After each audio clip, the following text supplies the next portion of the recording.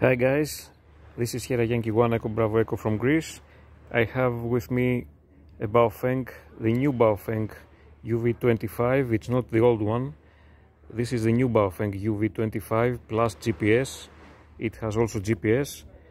Um, I just wanted to show a quick feature that uh, impressed me when it arrived. This uh, baby here, besides that uh, it's about 12 watts but we're going to test that in a, an extensive video in YouTube.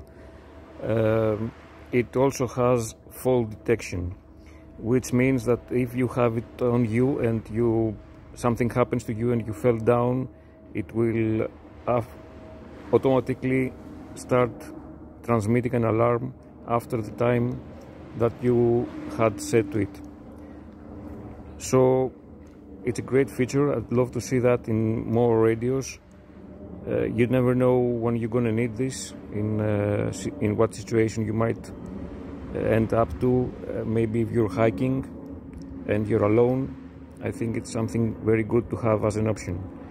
Uh, let's see how it works.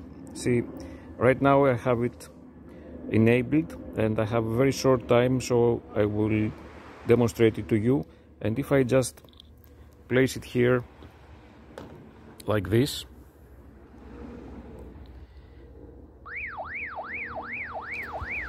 As you can see it already started the alarm sound.